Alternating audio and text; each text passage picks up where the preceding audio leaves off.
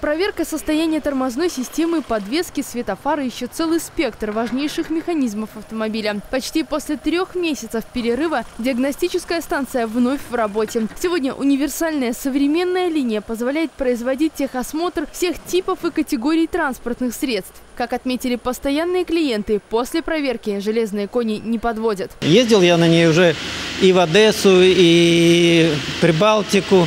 Всю Белоруссию, можно сказать, объездил. Ну, Очень доволен. Гоняю свою машину, машину тещи своей, как бы, поэтому езжу только сюда. Здесь как, как бы и линия хорошая, как бы у них современная. Прекрасно. В машине уверен на 100% после прохода как бы на этой станции. Постоянно здесь обслуживаюсь, можно сказать. Хороший сервис. Можно заранее договориться, записаться. И быстро проходит все. Ну, очень хорошо. Приезжаешь, получаешь удовольствие. Ни лишних вопросов, ни лишних действий.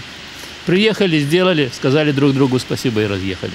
На станции предусмотрена удобная система оплаты, возможна запись. Но, как признались специалисты, клиенты предпочитают обслуживаться в порядке живой очереди. Ведь благодаря современному оборудованию процедура довольно быстрая. А совсем скоро здесь появится и еще ряд полезных услуг. Мы планируем открыть станцию технического обслуживания, а, магазин автозапчастей и мойку, что позволит нашим клиентам, конечно, сэкономить финансовые затраты и время на прохождение государственного техосмотра. Станция работает с 9 до 18.00. Все дни, кроме воскресенья и понедельника. Профессионалы ждут постоянных и будущих клиентов по адресу улица Минская, 123, дробь 1.